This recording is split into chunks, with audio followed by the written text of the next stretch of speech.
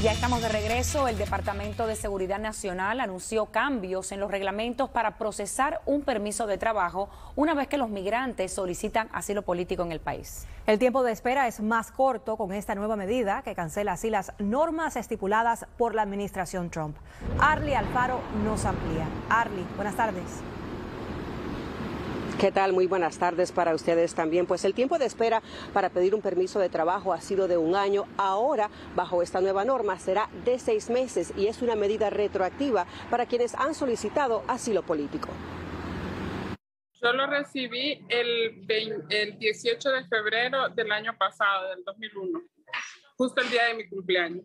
Alejandra dice que tuvo suerte porque recibió su permiso de trabajo en el día de su cumpleaños y en poco tiempo. Fueron ocho meses, eh, pero realmente me cambió la vida.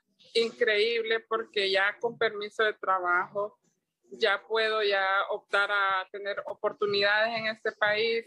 Es casi el mismo tiempo que otros inmigrantes podrían esperar por su permiso de trabajo después de solicitar asilo político bajo la nueva regla del Departamento de Seguridad Nacional permiten que la gente que han aplicado el asilo aplican a su permiso de trabajo a los 180 días y no tienen que esperar al año después de haber aplicado a su asilo político. La norma cancela la que estableció la administración Trump en el 2020, que contemplaba que un solicitante de asilo debía esperar al menos 365 días para pedir la autorización para trabajar.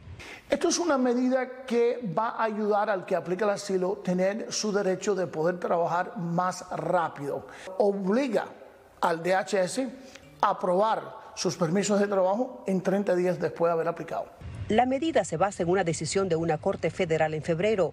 Ahora es oficial y llega en medio de cifras récords de personas en la frontera sur. Además es retroactiva y válida para quienes no ingresaron por un puerto de entrada regular. Con esta regla nueva vuelve a tener el balsero que entra en un punto que no es puerto de entrada oficial poder aplicar a su permiso de trabajo. Bien, y otro dato importante para quienes pidan ese permiso de trabajo por primera vez es que ya no tendrán que pagar la tarifa de 85 dólares que se requería para la identificación biométrica. En vivo, Arli Alfaro, adelante del estudio.